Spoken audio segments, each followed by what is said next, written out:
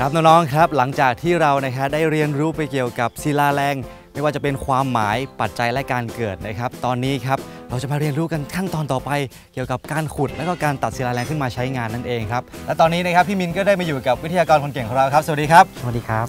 นะครับท่านนี้ก็คือพี่เปเล่รัตทีรีสวัสดิ์พรนั่นเองนะครับวันนี้พี่เปเล่จะมาแนะนำถึงขั้นตอนการตัดแล้วก็การขุดนำศิลาแรงขึ้นมาใช้งานนั่นเองได้คเลรัยบครับได้เลยครับครับผมพี่เปเล่ครับคำถามแรกคือว่าอยากจะรู้ว่า ที่ตรงไหนเนี่ยมีศิลาแรงบ้างเนี่ยเราจะสังเกตหรือว่ามีข้อสังเกตยังไงบ้างครับ ครับ เวลาเรามาสำรวจพื้นที่นะครับ เราก็จะมาสำรวจพื้นที่ดูจากต้นไม้นะครับ ต้นไม้ใหญ่ ต้นไม้ใหญ่นะถ้าต้นไม้ใหญ่เนี่ยขึ้นห่างห่างห่างกันเนี่ยแต่ละต้นทิ้งระยะประมาณห่างกันประมาณสัก6 7 เมตร 10 เมตรขึ้นไปเนี่ยอืมนั่นคือพื้นที่นั้นจะเป็นศิลาแรง อ๋อเพราะว่าไม่มีไม่สามารถเพราะว่ามี มีต้นไม้ขึ้นมา ใช่ครับรากเขาได้ไม่สามารถชอนชัยไปใต้ดินได้ อ๋อก็คือมีเปอร์เซ็นต์แล้วล่ะที่ศิลาแรงจะอยู่ใช่ครับ พื้นที่ตรงนั้น ใช่ครับ แล้วพอเรารู้มั่นใจแล้วล่ะว่าอ่าตรงนี้แหละ มีศิลาแรงอยู่แน่ๆแล้วใต้เนี่ยขั้นตอนต่อไปเลยครับ เราจะทำยังไง ขั้นตอนต่อไปพอเราได้พื้นที่ที่จะทำคิดว่าจะทำศิลาแรงได้แน่นอนแล้วครับเราก็เตรียมอ่ารถไถรถไถรถไถคือรถไถอ่ารถไถนาทั่วไปอะครับ มาไถเปิดหน้าดิน เฉลี่ยทั่วไปที่เขาปกคลุมศิลาแรงเนี่ยก็อยู่โดยประมาณ 20 เซนถึง 30 เซนพอเราปาดหน้าดินเรียบให้พื้นที่เสมอเสร็จปั๊บมันก็จะเจอศิลาแรงนะครับก็เห็นได้ชัดขึ้นครับผมฮะอยากจะทราบแล้วนะครับว่า อุปกรณ์ต่างๆ ในการตัดหรือการขุดศิลาแรงขึ้นมาเนี่ยมีอะไรบ้าง อยากให้พี่เปเล่นำ ผมแล้วก็น้องๆไปชมได้ไหมครับครับเชิญได้เลยครับเชิญได้เลยครับโอเคครับตามเลยครับน้องๆ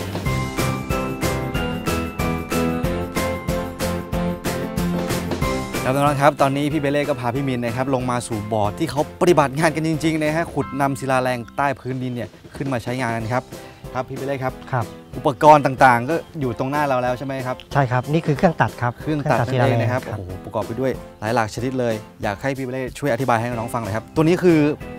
มีดถูกไหมครับตัวนี้คือใบตัดศิลาแลงครับใบตัดศิลาแลงครับผมใบตัดศิลาแลงเนี่ยก็ประกอบไปด้วยอ่าเม็ดคาร์ไบด์ซึ่งอ๋อเม็ดคาร์ไบด์เนี่ยต้องมาเชื่อมติดกับใบฟัน มันจะมีทั้งหมด 8 ฟันถึง 10 ฟัน วัสดุนี้เป็นวัสดุที่แข็งอ๋อครับสามารถตัดสามารถตัดได้ศิลแรงได้ครับผมฮะของอะไรอันนี้เป็นเครื่องรถไถเดินตามทั่วไปครับอ๋อครับครับผมเรามาพื่อที่ใช้ถเรามาไถประดิษฐ์ดัดแปลงครับดัดแปลงมาเพื่อให้ใบมีดทำงานหมุนทำงานหมุนแล้วก็ครับตัดเข้าไปครับในผมศิลาแรงครับโอ้โหใบมีดมันก็จะลงไปจะลงไปแบบนี้นะครับ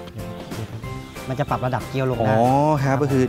ความลึกความลึกอะไรอย่างเข้าเงี้ยไปได้ ของความหนาศิลาแรงครับ อุปกรณ์ต่อไปดีกว่าครับครับมีอุปกรณ์ต่อไปะรเมื่อเราบ้งคบตัดแล้วใช่ไหมฮะเราครับตัดได้ขนาดตามต้องการอ่าที่ลูกค้าต้องการแล้ว ก็จะมีแฉลงกระทุ้งนะครับแฉลงกระทุ้งแฉลงกระทุ้งนนะครับแฉลงกระทุ้งนี่ก็ต้องเป็นเหล็กแกร่งอย่างดีครับนะผมอ่าตัวปลายแฉลงกระทุ้งนี่ก็ประกอบไปด้วยเขาเรียกเหล็กเหล็กแหนบเหล็กอ๋แหอนบใช้เหล็กนะครับแหนเราบไปหาเหล็กแหนบตามทั่วไปแล้วเราก็มาตีตีให้ให้แบนแล้วลักษณะการใช้งานของ เจ้าแฉลงกระทุ้งนี่คือใช้งานยังไงครับ ครับ มันต้องใช้กระทุ้งในร่องศิลาแรงครับอ๋อก็ชื่อก็บอกกระทุ้งก็กระทุ้งเข้าไปในร่องครับผมฮะโอ้ย และอย่างนะฮะเดี๋ยวก็มากคือมีดมีดมีดถากของมีดแก้วถากหน้าม้าหรือเปล่าครับ มีดถากนะครับมีดถากก็ก็คือเหล็กแหนบเช่นกันอ๋อเป็นคือเหล็กเป็นแหนบเป็นที่วัสดุที่ที่ที่เจียมาแล้วหรือเปล่าที่คแข็รับงครับ แล้วเราก็มาเผาไฟตีให้แบนมเพื่อให้ครับมันคมมีใบมีดในการตัดมีแฉลงในการกระทุ้งมีมีดตัดใช่ไหมครับ ครับมีเครื่อง ครับ แล้วสิ่งนี้เรียกว่ารางใช่ไหมฮะครับรางครับรางเพื่อที่จะเครื่องจะได้สไลด์สไลด์ตัวใบมีดไปตามแนวศิลาแรงครับก็คือชื่อเขาเรียกว่ารางตัดครับถูกรางไหมตัดครับรางตัดนี่จะยาวประมาณ 6 เมตร จะยาวหรือสั้นกว่านี้ได้ไหมครับ ก็ได้แต่ว่ามันต้องให้แมทกับอ่าความกว้างของบ่อด้วยครับอย่างบ่อที่เราอยู่ตรงนี้เนี่ยเรียกได้ว่าลึกลงมากี่ชั้นแล้วครับประมาณ 5 ชั้นครับห้าชั้นใช่ไหมครับคการัรบตัดของศิลาแรงความหนาก็อยู่ราวๆประมาณอ่า11เซนสามารถลึกได้ ที่สุดกี่ชั้น อยู่ราวๆประมาณความลึก 2 เมตรครับน้องๆครับ ตอนนี้เราก็ได้รู้แล้วนะครับว่า อุปกรณ์ในการตัดศิลาแลงมีอะไรบ้าง เดี๋ยวเราจะไปดูขั้นตอนในการตัดศิลาแลงกันครับ ซึ่งหลังจากพรมน้ำที่พื้นเพื่อลดฝุ่นแล้ว ช่างก็จะเริ่มเดินเครื่องตามราง ใบมีดที่ติดเม็ดคาร์ไบด์ก็จะหมุนตัดลงไปบนพื้นนะครับ ซึ่งก็จะตัดให้เป็นร่องแบบนี้ ตามขนาดของลูกค้าที่ต้องการนั่นเองครับ ในขั้นตอนต่อไปเมื่อตัดได้ไซส์ที่ต้องการแล้ว ก็จะใช้ชะแลงกระทุ้งลงไปบนพื้นแบบนี้ครับ ซึ่งเราสัมผัสได้ถึงการสั่นสะเทือนขณะกระทุ้งที่ทำให้ก้อนศิลาแรงลุดออกมา โดยไม่จำเป็นต้องเอาใบมีดไปตัดด้านล่างแต่อย่างใดเลยนะครับ จากนั้นนะครับเราก็จะงัดศิลาแรงขึ้นมาแบบนี้นั่นเองครับน้องๆสังเกตนะครับว่าก้อนศิลาแรงยังดูผิวไม่เรียบ เรายังต้องนำศิลาแรงไปตัดแต่งให้สวยงามด้วยมีดถากอีกทีหนึ่งครับ ซึ่งขั้นตอนนี้ก็จะให้ผู้เชี่ยวชาญเขาทำดีกว่านะครับ เดี๋ยวพี่มินทำก้อนศิลาแรงจะแตกซะก่อน พียงแค่นี้เราก็จะได้ก้อนศิลาแรงพร้อมใช้งานนำไปเก็บเป็นสินค้าพร้อมจำหน่ายได้เลยครับ ครับน้องๆครับหลังจากที่เรานะครับผ่านการเปิดหน้าดินก่อนครับหน้าดินเสร็จก็เข้าไปในรางเลื่อน ใช้รางเลื่อนในการตัดครับการขุดขึ้นมานะครับครับโอ้โหการกระทุ้งครับการถากนะครับ แล้วก็เราจะได้มาอยู่ด้านหลังนี่เองครับ นี่คือเตรียมพร้อมที่จะส่งลูกค้าแล้วนะครับโดยขนาดที่มาตรฐานก็อยู่ที่ 10 ถึง8ถึง8ถึง10 10เซนติเมตรครับนะครับแล้วอย่างนี้ยครับตอนที่เราอยู่ในบ่อเนี่ยเราจะรู้ได้ไงว่าข้างล่างที่เราเหยียบอยู่เนี่ย มีศิลาแรงหรือว่าหมดไปแล้วอะไรอย่างเงี้ยครับครับคือเมื่อเราตัดลงไปเรื่อยๆนะครับตัดครับโดยเฉลี่ยแล้วประมาณ 1 เม็ดถึง 2 เม็ดนะครับก็จะเริ่มหมดแล้วคใช่รับไหมฮะแต่ว่าถ้าถ้าหมดเราจะรู้ได้ไงก็คือเวลาเรากระทุ้งเสียแรงเนี่ยมันจะเริ่มอ่อนเริ่มแตกหักอืมถ้าไม่ไม่คุ้มกับการการตัดต่อไปเราก็หยุดการตัดไว้ก่อน ก็คือจะปิดครับจะปิดแล้วก็เปิดบ่อใหม่ทันทีครับผมแล้วพื้นที่ในการ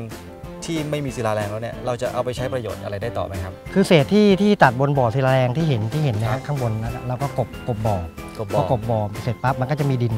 ครับ มีดินเหลืองแล้วก็กบก็สามารถฟื้นฟูหน้าดินเอาไปปลูกมันได้ต่ออย่างที่เห็นด้านหลังนี่เลยเห็นนะคด้ารับนหลังนะครับครับอ๋อพื้นที่เหล่านี้ก็เคยเป็นบ่อศิลาแรงบ่อมาศิก่ลาอแรงนแรงมาก่อนพครัอบกลบเสร็จแล้วก็ปลูกพืชขึ้นมาปลูกพืชมันครับขึ้นมาก็เหมือนฟื้นฟูพื้นที่ดินให้กลับมาดีอืมครับ แล้วผมแล้ว